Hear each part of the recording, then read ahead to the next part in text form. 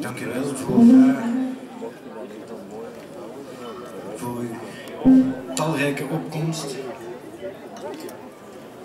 Het volgende stuk heb ik uh, geschreven voor een zeer goede vriend van, van ons, mag ik? René Meurs, de baas van de jazzclub van Mazaik. En uh, het stuk heeft gewoon zijn naam gekregen, zijn uh, bijnaam zeg maar, De. Schreur.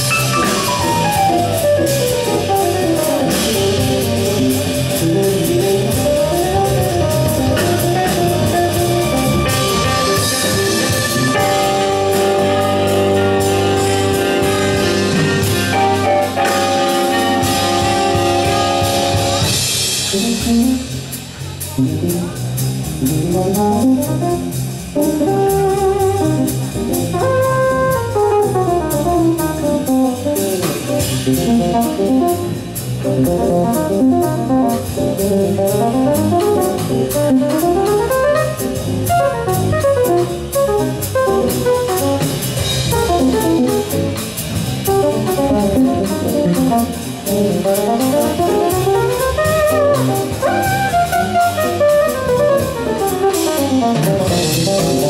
you.